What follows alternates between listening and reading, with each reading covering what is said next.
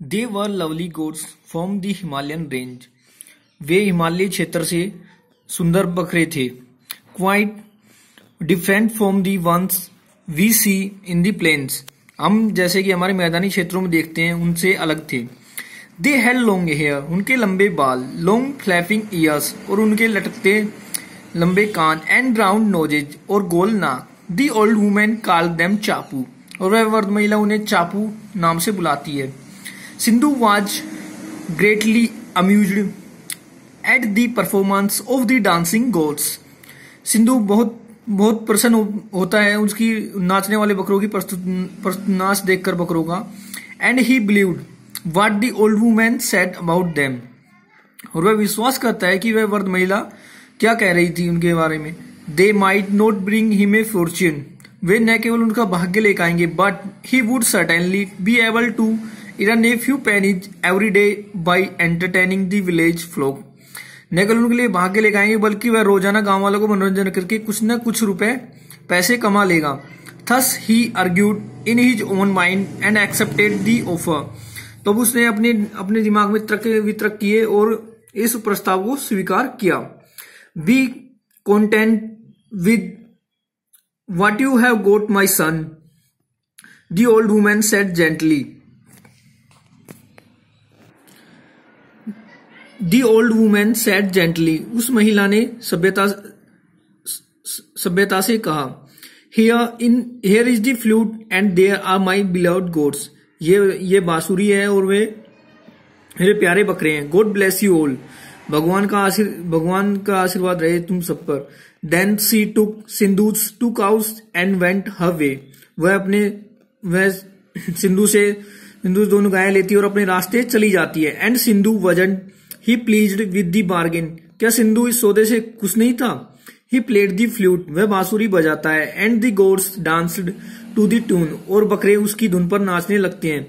Joyfully he made his way along the path across the meadow in order to reach home as quickly as he could और वह आनंदित तरीके से मैदानी मैदानी रास्ते को पार कर, मैदानी रास्ते को पार कर साथ में उनके साथ में चलता है कि जल्दी से जल्दी घर पहुँच जाए। But when his mother saw what he had brought back जब उसकी माँ देखती है कि वह क्या वापस लेकर आया है सी हैड अनहैप्पी वह बहुत उदास होती है, उदास होती है। Sindhu played the flute Sindhu बांसुरी बजाता है and the three dancing three goats dance as merrily. और वह तीनों बकरे उस बांसुरी की धुन पर नाचने लगते हैं एज एवर जैसे हमेशा की तरह।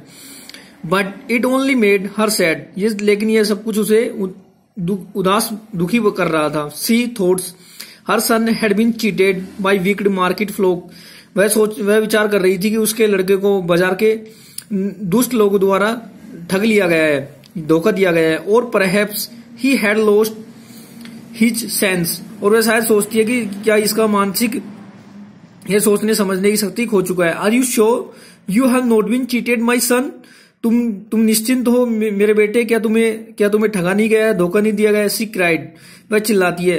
We have hardly enough food to keep ourselves from starvation हमारे पास पहले ही भुखमरी के लिए पर्याप्त भोजन नहीं है। What will you do with these silly goats और इन इन मूर्ख बकरियों का हम क्या करेंगे? डोंट बी अफ्रेड मदर ड्रो मत माता. इम्प्लोर्ड सिंधु. सिंधु ने निवेदन करते हुए कहा I am neither mad and nor light hearted नहीं मैं नहीं मैं पागल हूँ और नहीं मज़ाक किया गया है. The dear the dear old women who exchange these wonderful goats वह वर्द महिला जिसने इन बकरों का आदान पर, अद्भुत बकरों का आदान प्रदान किया है। फोर ओवर काउस हमारी गायों के साथ में। सेट टू मी डेट उसने मुझसे कहा है दे वुड समडे ब्रिंग अजलक। वे तुम्हारा वे तुम्हारा किसी दिन भाग्य लेकर आएँगे। एंड आई बिलीवर मैं उसमें विश्वास करता हूँ।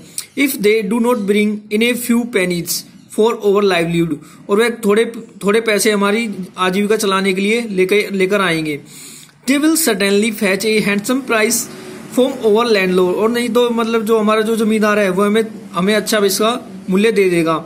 Now Sindhu's landlord lived close to the village और जो सिंधु का जो जागीदार होता है, वो पास की गाँव में, पास ही रहता है गाँव के पास में। हिज डॉटर उसकी उसकी लड़की एक गर्ल ऑफ़ ग्रेट ब्यूटी उसकी बहुत सुंदर लड़की थी, लड़की है।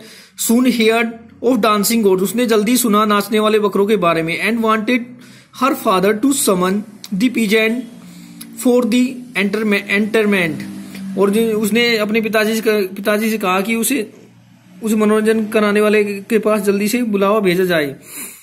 So one day Sindhu took his flute तो एक दिन सिंधु ने अपनी बांसुरी ली and goats and went to the landowner's house और वह जागीरदार के घर की तरफ़ में बांसुरी और बकरों के साथ में चला गया। She played his flute as well as he possibly could उसने अपनी बांसुरी बजाई, जैसा कि वह बजा सकता था।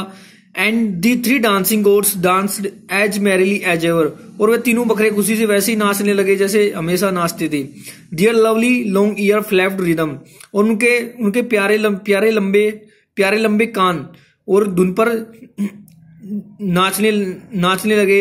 And the movements of their limbs were graceful और जो उनके उनके जो शरीर शरीर को नाच रहे थे वह भी बहुत बहुत देखने लायक था बहुत अच्छा था। It was an enchanting performance और यह एक अद्भुत अद्भुत प्रस्तुति थी उनकी। The landowner's daughter offer to buy of the goats और जो जो जमींदार की बेटी होती है, उसने प्रस्ताव रखा एक बकरा खरीदने का and asked what price Sindhu wanted for it और सिंधु इसके लिए क्या मूल्य चाहता है?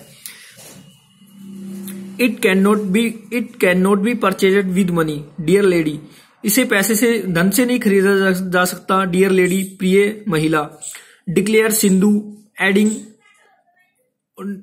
सिंधु ने घोषणा की adding that if she really wanted his precious pets यदि वह उसके उसके मूल्यवान पालतों खरीदना चाहती है she she would have to pay visit to his widow's mother उसे उसकी माँ के पास में, उसकी माँ के पास में जाना होगा and take her a barrel of foodstuff और एक पीपा खाद्य सामग्री का देकर आना होगा for he lived in a laboured of his mother's happiness and comfort और जो ये परिश्रम कर रहा है, वो अपनी माँ की खुशी और आराम के लिए कर रहा है the girl was so anger to have a goat और वह लड़की बकरा लेने के लिए उत्सुक होती है दैट सी एग्रीड और वह सहमत हो जाती है टू गो दी पीजन हट उसकी, उस किसान की झूपड़ी पर जाने के लिए with a barrel of foodstuff और एक एक खाद खाद सामग्री का पीपा लेकर